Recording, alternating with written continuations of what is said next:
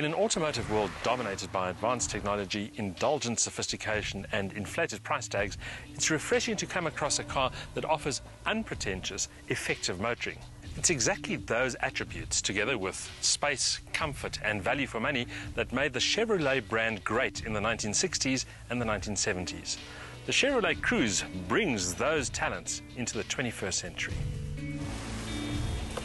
Of course, a lot has changed since those heady Chevrolet days of Braaivleis rugby and sunny skies.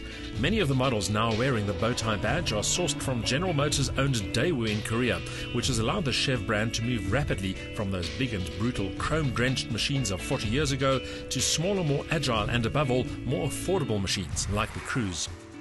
Originally launched locally in sedan form, the Cruze lineup has now been joined by a hatchback version, perhaps in an effort to attract a younger and sportier motoring audience.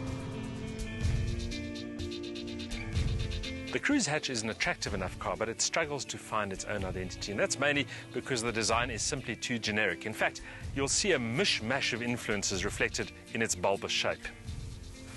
The front is by far the most dominant feature here with that bold bow tie badge on the crossbar, which of course emphasizes the car's brand identity. And just as well, because the aesthetic influences contained in the Cruze's sculpted lines are wide and varied, with BMW's previous Generation 1 series the most obvious styling inspiration. The lines are clean and crisp, but the proportions are too cumbersome to be deemed sporty, especially around the rear of the car. The sedan version offers better visual balance, while the hatch appears too contrived and too derivative from some angles. But then one could argue that cabin execution is more important than exterior styling.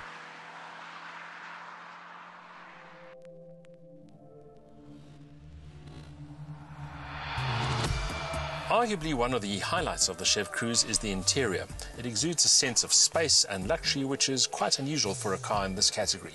Part of the reason, of course, the leather upholstery, also a fully equipped interior and decent ergonomics. The only exception to the rule here, this vast display of plastic on the dashboard, which doesn't fit in with the sense of tactile quality which permeates the rest of the cabin. Mostly, though, the Cruze interior is a pleasing and comfortable space to spend time in. The list of standard features is impressive, especially given the hatchback's price positioning, and there's a reassuring robustness to the execution that promises both reliability and longevity. The long list of luxury and convenience items is augmented by comprehensive safety measures that include front, side, and curtain airbags, as well as ABS brakes and electronic stability control. Rear accommodation is comfortable, but the boot's raised cargo floor makes for a shallower than expected luggage area.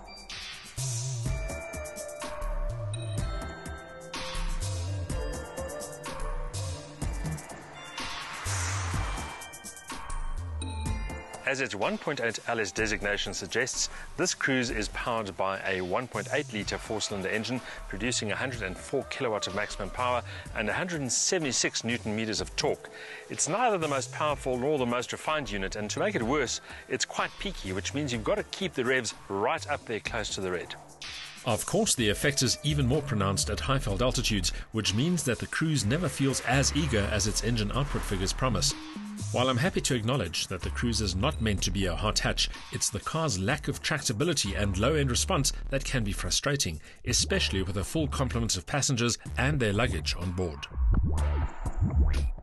The Cruze hatch looks vaguely sporty, but it's no cruise missile when it comes to performance.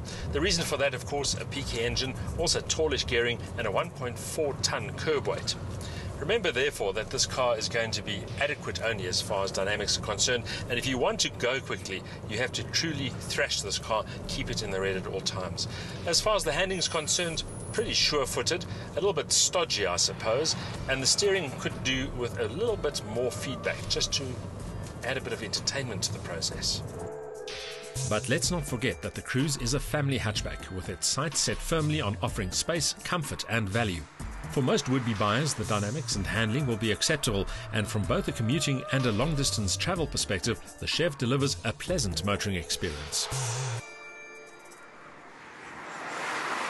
In a petrol head driven market like the South African one, it's the fast and the fancy cars that hog the limelight.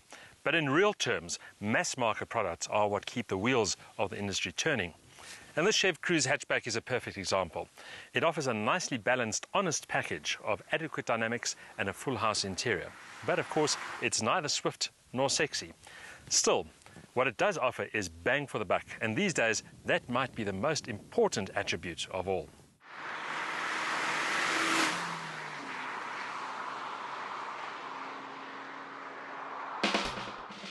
On paper, the 1800cc engine's output figures appear admirable, together with a well-weighted gearbox, decent ride comfort and good brakes. A full house cabin and high safety levels add further appeal, but in practice, the peaky engine compromises response while the boot looks shallower than its claimed capacity suggests.